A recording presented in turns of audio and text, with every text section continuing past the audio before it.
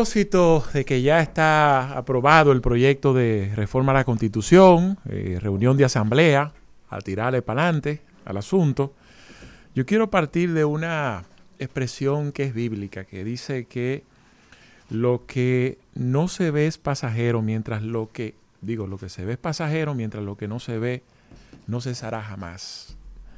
Insistí dentro de mis primeros comentarios eh, durante este nuevo proyecto de rumbo de la tarde eh, sobre la reforma constitucional y sobre todo partiendo de que desde mi punto de vista de los argumentos expresados por quienes la defienden era innecesaria, más es innegable, es decir, usted decirle a un presidente que no quiera eh, plasmar y conectar su visión en un proyecto de reforma, como lo ha hecho la mayoría de los presidentes. Pero en función de las cosas ya establecidas en ese proyecto de reforma constitucional, ahí se van aclarando algunas cosas. Y eh, insistíamos siempre en los tres propósitos fundamentales de una reforma. Uno de ellos es el inmediato, es decir, una ganancia inmediata. Otro es asegurar un porvenir, es decir, un blindaje después que yo me vaya. Y la llamada carnada. La carnada, partiendo del primero, tiene que ver con eh, el planteamiento de eh, la famosa petrificación eh, de, de, la reelección. Eso es algo que como que agrada conjuntamente con la reducción del número de diputados, pero la forma que se ha planteado, todo el que tiene dos dedos de frente sabe aquí que primero ya eso está establecido en nuestra constitución.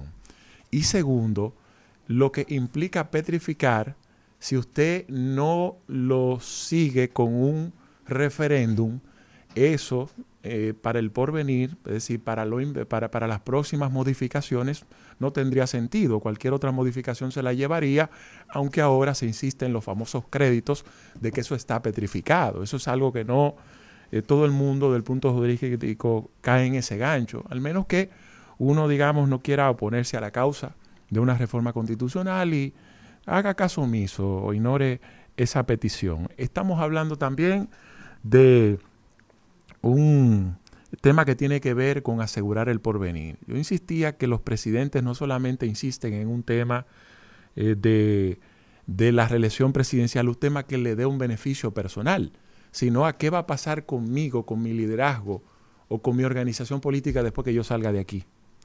Bueno, ya ustedes vieron la propuesta de, eh, que hicieron y que está aprobada de que nada más y nada menos que el presidente del Tribunal Constitucional pasará a ser miembro del Consejo Nacional de la Magistratura. Es decir, el presidente del Tribunal Constitucional ha sido designado por nueve años en la posición.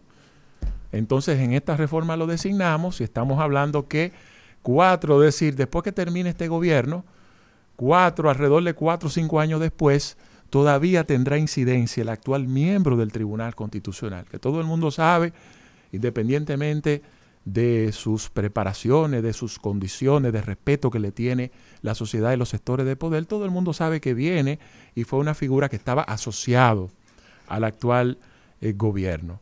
Lo propio está ocurriendo con el famoso Procurador General de la República o Procuradora. Hay una propuesta de que sea eh, pues escogido y que sea inamovible cada dos años. Hay una discusión de si lo van a aprobar entre eh, cuatro o dos años, pero ya ustedes saben con eso lo que le están diciendo, que cuando el presidente de la República culmine su mandato, el actual procurador probablemente esté designado por dos o hasta cuatro años después que él se vaya. Y al final, el presidente actual, quien promovió un proyecto de reforma constitucional, eh, digamos, aunque este sea un país presidencialista y que haga más caso a los gobiernos de turno y al presidente de turno, no es menos cierto que el que se fue fue el que hizo esta propuesta, fue el que generó este beneficio y donde se cuece el bacalao, ahí yo tengo incidencia porque en el proyecto de reforma constitucional quedan miembros que fueron designados por mí. Cuando Danilo tuvo el pleito, Jean Alain, de Miriam Germán, ¿ustedes saben cuándo fue?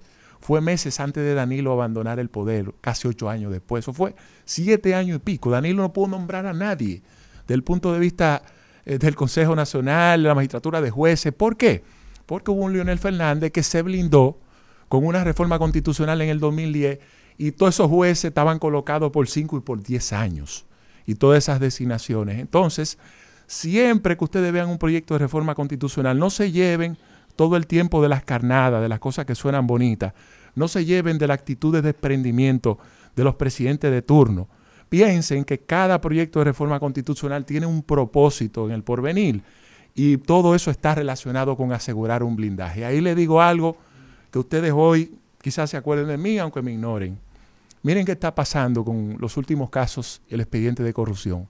Casi todo el mundo ya está en su casa, todo el mundo le han levantado las restricciones, la mayoría ya pueden viajar, son muy pocos, excepto, excepto Jan Alain, que ustedes saben que es un tema personal que tiene, y todo eso, súmelo a todo eso, tómelo en cuenta, que detrás de eso hay un propósito, hay un propósito, y es asegurar un blindaje hacia el futuro.